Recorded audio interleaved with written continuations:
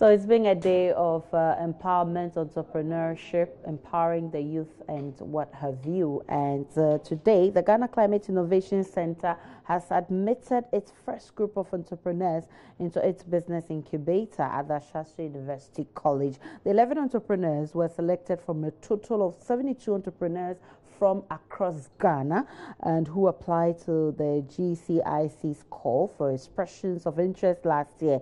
And that inter alia, the business advisory and support facilities that the successful businesses will see from the center includes provision of office space and facilities, business skills training and monitoring. And I've got the executive director of the Ghana Climate Innovation Center herself in the studio. She'll be telling us more about what it entails. You're welcome on the pulse. Thank you very Ruka much. Sanusi. Um, we're, we're grateful to have you here, but tell us about this whole Climate Innovation Center. What is it about? Thank you, Aisha. The Ghana Climate Innovation Center is a pioneering green business incubator that seeks to work with entrepreneurs that are working on enterprises and ventures that um, support climate change adaptation and mitigation strategies. So we actually work in five sectors. We, um, we incubate businesses that work on solar power, energy efficiency, climate smart agriculture. And you know, uh, water purification and solid waste and domestic waste management. Um, sectors that are really pertinent um, to social development, economic development, and of course pertinent to um, climate change um, issues as well. So enterprises and ventures, entrepreneurs that work in all of those areas are very welcome to um, the Innovation Center. But it's your incubators, how different is yours from, I mean, the normal incubators we know? Okay, that's an excellent question. Um, there are many incubators um, all over the world and many in incubators in Ghana. We believe that we're one of the first green economy incubators in Ghana. We're specific to enterprises that are, like I said, working to mitigate climate change mm and with a focus on social, economic, and also environmental impact. Mm And I think what's also very interesting and pioneering about our incubator is that we're not only a grant making inc um, incubator, we provide a whole range of um, services that really support the um, entrepreneurs. We're interested in nurturing the whole leader, a venture and a business leader. We have a whole range of interventions and work streams that support on issues of business mentoring, business advisory service. You know, we'll, we'll give our entrepreneurs access to technical experts, whether that's in Ghana, whether that's in West Africa, whether that's in Africa, whether that's in everywhere, anywhere else in the world. Market access. So how do you even go to market, right?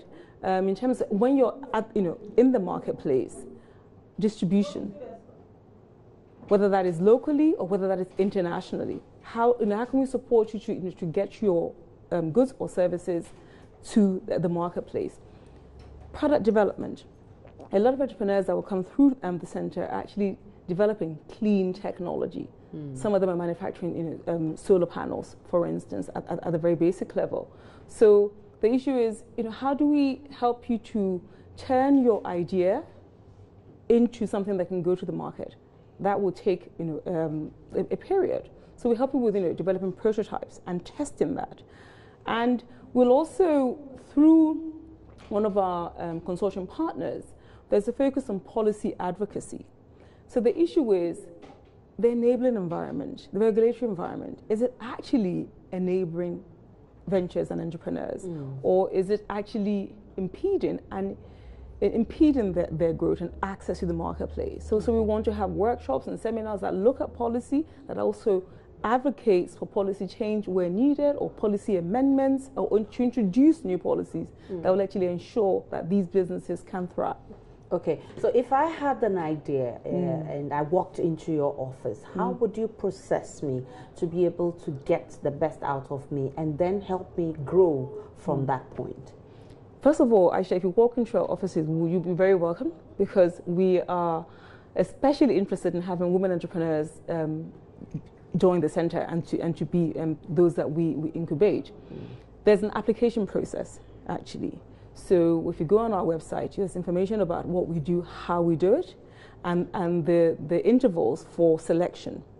There are about three to four stages actually in the selection process. The first thing you do is you express interest, you fill in a particular form, which helps us to assess actually, are you actually in those five sectors, mm-hmm. right? Yeah. And if your business is not in those five sectors, I'm afraid we really can't consider it. Okay. So then we move on to the next stage. We, we ask you for more, much more detailed information. The second, the third phase is that we ask you for a one-to-one interview where you have to present your business case to us, demonstrate to us your unique value proposition and your unique, you know, what's unique ab- about that business. And then if you're successful, you actually come in you know, to the center to be incubated for a period that ranges between three to 12 months. Mm. Do you provide funding? Yes, we do. Um, there is a, a, proof of concept grant that um, entrepreneurs can um, apply for. Yes. So you, you've stated the five categories that yes. you work with, uh, yes. uh, and I want to ask who can uh, walk into your offices and seek for your services? Who? Absolutely anybody.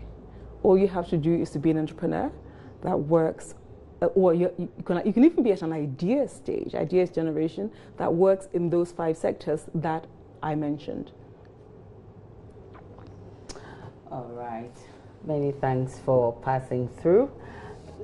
Let's see what will be coming up shortly when we take a break. Who wins the trophy? Is it Juventus or Real Madrid? And we'll be seeing all of that shortly on the Pulse.